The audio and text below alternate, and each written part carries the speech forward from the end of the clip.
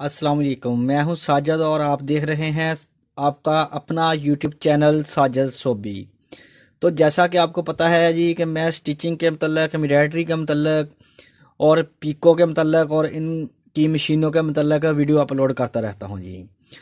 तो ये आज मैं लेकर आया हूँ जी कुमकुम पीको चार धागों वाली। जी हाँ चार धागों वाली कुमकुम पीको करने का तरीका बहुत ही आसान मैं आपको बताऊँगा जी। कि आपने कौन सा धागा किधर डालना है और कौन सा किधर डालना है और किस तरह इसकी स्टिच को ठीक करना है। और पिको आपको करके भी दिखाऊँगा इनशाला तो जी, अगर आपने मेरे चैनल को सब्सक्राइब किया हुआ है तो आपका शुक्रिया। अगर आपने मेरे चैनल को सब्सक्राइब नहीं किया तो चैनल को सब्सक्राइब करें और बेल आइकॉन को करें प्रेस।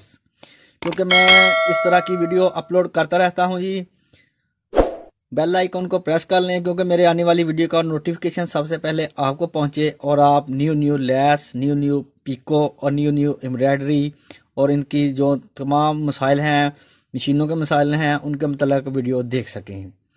तो जी, करते हैं काम शुरू। जी, मैंने चार कलर लगाए हुए हैं जी। चार कोने लगाई हैं जी, दो कलरों के अंदर, जो कि आपके सामने है, ग्रीन और ब्लू। तो जो ब्लू वाला इधर वाला धागा है ना, ये फ़र्स्ट वाला, इसको मैंने इधर लगाया पहले, इधर से गुजारा, इस गाइड से गुजार के। ये जो कुमकुम वाला पुर्जा है, इसकी जो फ़र्स्ट वाला है ना, इधर से गुजारा इसको मैंने। इसमें गुजारने के बाद जी, इसको मैं लेकर इधर से, इस दुशाखे से इसको बाहर निकाल देना जी इसके अंदर नहीं डालना अभी आपने। डालने के बाद इसको बाहर वाली नेटर जो है इसकी, इसमें डाला है जी, बाहर वाली नेटर में। उम्मीद करता हूँ आपको अच्छे से समझ आ गई होगी। उसके बाद वाला जो धागा है जी, इसको इधर से गुजारा, उधर से। धागे आपने इस तरह से डालने हैं कि एक दूसरे के साथ अटैच नहीं होने चाहिए जी। सेंटर वाले में अभी सेंटर वाले में डाल के इधर से प्लेटों से बाहर निकाल दिया धागे को। और दूसरे ऊपर में से गुजार के, जो छोटा ऊपर होता है, उसमें से गुजारा इसको। और जो तीसरा धागा है, वो वाला देख लें जी। इधर से बैक तरफ़ से निकाला है इसको जी मैंने। और जो कुमकुम पिको पुर्जा है, इसका जो लास्ट वाला है इसमें से गुजारा है और इधर से बड़े लुपर के अंदर प्लेटों में से निकाल दिया इधर से। प्लेटों में से निकाल के, बड़े लुपर में डाल के ये भी गुजार देना है। और जो ये वाला धागा है, इसको आपने पुर्जे के अंदर नहीं डालना ही। एक्स्ट्रा छोड़ा हुआ है जी मैंने। इधर इसका मैंने खुद ही देसी सा गाइड बनाया हुआ है, देखें। इन दोनों से गुजार के इसको, इधर इसको प्लेटों के अंदर रखना है, इसको प्लेटों के बाहर नहीं करना। ये शाखा है इसका, इसके अंदर रखना है इसको। और अंदर वाली जो निटल है, उसके अंदर डाल देना है जी। उम्मीद करता हूँ कि आपको धागे डालने की अच्छे से समझ आ गई होगी जी। और अभी मैं आपको ये वाली पिको करके दिखाता हूँ। रहीम शुरू करते हैं जी इनशाला अभी मैं आपको करके दिखाता हूँ जी। मेरे पास तो ये कट पीस आया, आपने बटों के ऊपर कर लेनी है इसी तरह से जी।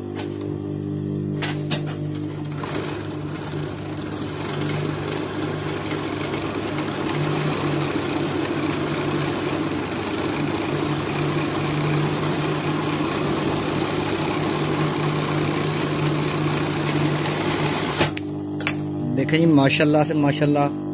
बहुत ही प्यारी और खूबसूरत और नीट पिको होती है जी। इस तरह से धागे आपने, आपको जैसे मैंने डालने आपने इसी तरह से डालने हैं। और देखें जी, बहुत ही प्यारी और खूबसूरत पिको होगी जी इस तरह से। और इसका एक फ़ायदा आपको और भी मैं आपको बता देता हूँ जी, इसके साथ आप और क्या कर सकते हैं। करना आपने क्या है? पलटा भी इसके साथ तैयार कर सकते हैं। कस्टमर की डिमांड के मुताबिक आप फ़ौरन ही कस्टमर के होते हुए ही आप उसकी पसंद के धागे लगा के उसकी पसंद का पलटा लेके पलटे में से डोरी आपने निकाल देनी है और डोरी निकालने के बाद आप इस तरह से ये वाला पलटा भी तैयार कर सकते हैं। जिस तरह से मैंने क्रोशिया पिको का पलटा तैयार किया था, बिल्कुल उसी तरह। ये भी मैंने कुमकुम पिको वाला, चार धागों वाली कुमकुम पिको वाला पलटा तैयार करके रखा हुआ है। किसी चीज़ की समझ ना लगी हो तो आप कमेंट सेक्शन में आप मुझसे पूछ सकते हैं जी।